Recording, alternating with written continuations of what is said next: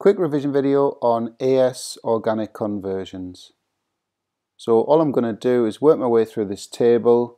So how do you go from a particular functional group to the one in italics in column 2 of the table. So alkanes to haloalkane, you would react it with a halogen in the presence of UV light. Alkene to alkane, you react the alkene with hydrogen with a nickel catalyst and a temperature of 150 degrees C.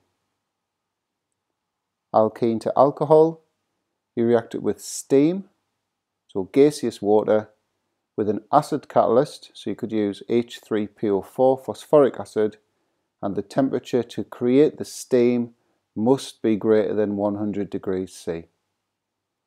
Alkene to haloalkane, you would react it with a hydrogen halide, so something like hydrogen chloride hydrogen bromide. To turn an alkene into a dihaloalkane, you would react it with a halogen, so chlorine, bromine. And if you do use bromine, remember that the bromine would be decolorized, and that's the test for an alkene, a carbon-carbon double bond. So alcohol to haloalkane, you react it with a sodium halide, so it could be sodium chloride, sodium bromide, with sulfuric acid and you would need to reflux. Alcohol to alkene, you react the alcohol with an acid catalyst, so you could use phosphoric acid or sulfuric acid, and you would need to reflux that. Alcohol to aldehyde, so you need to use a primary alcohol, and you would use acidified dichromate ions and the acid would be sulfuric acid and I've coloured in the dichromate ion orange because it is orange and if you remember the colour change associated with that reaction is orange to green and you would heat all of that under distillation.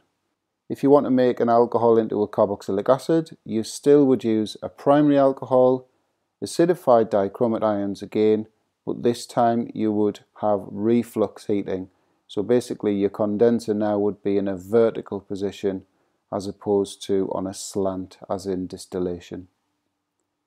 For an alcohol to be turned into a ketone, well you need to use a secondary alcohol but it's the same reagent, you've got acidified dichromate ions and the best way to heat it is under reflux because that ensures all of the alcohol is converted to the ketone. And finally a haloalkane to an alcohol you would react that with aqueous alkali, so something like aqueous sodium hydroxide or aqueous potassium hydroxide, and you would heat that under reflux.